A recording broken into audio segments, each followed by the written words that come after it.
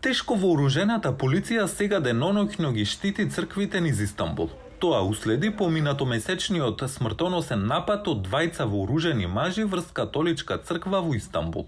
Групата Исламска држава ја презеде одговорноста за нападот во сообштение и предупреди дека цел на нападот се евреи и христијани. Малата христијанска заедница во Истанбул сега живее во сенка на насилство, но останува прекосна. İlla cemaat ама герек ми iş. Не мора да бидете член на заедницата за да бидете исплашени од овој напад. Тоа е нешто што сите би се плашеле. Бевме исплашени, но верувајте ми никогаш не се двумевме да дојдеме до нашата црква и да се поклониме и да му се помолиме на Бога.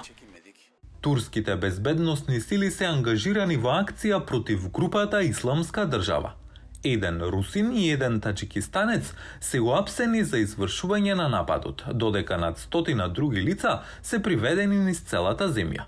Со оглед на тоа што Турција се граничи со територијата што некогаш ја држеше исламистичката група позната како ИСИС, аналитичарите предупредуваат дека заканата останува значителна. There are armed groups in Turkey. Во Турција има вооружени групи, она што останало и од ИСИС од сириската војна. Последен пат исламската држава успешно изврши напад во 2017 година, кога целта беше прослава на новогодишната ноќ во клуб во Истанбул, при што загинаа 39 лица. Аналитичарите предупредуваат дека безбедносните сили се вклучени во смртоносна игра со исламската држава со неодамнешниот напад на црквата во Истанбул. This is a mutual competition between the force, security forces and also terrorist cells. Ова е меѓусебен надпревар меѓу безбедносните сили и терористички кели. Двете страни ќе се обидат да се идентификуваат или да се измамат.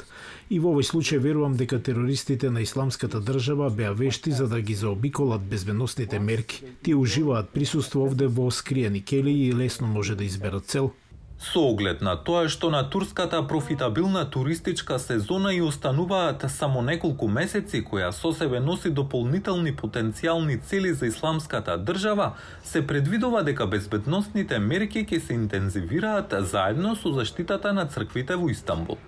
Böyle bir olaydan sonra tekrar buraya gelip de bizi burada По ваков инцидент, добро ни е што повторно доаѓаат овде да не заштитат, макар и како присуство.